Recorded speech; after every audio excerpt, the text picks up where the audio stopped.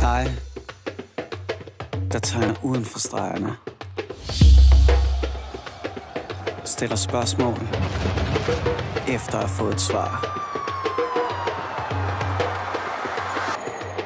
Som glemmer at sove og bruger dagen på at drømme. Dig, som laver dine egne planer. Kender reglerne. får dem. Som ser tingene i et andet lys. Og har for travlt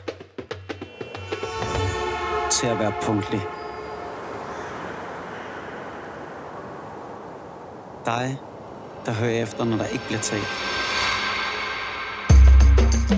For hvem anderledes er helt normalt.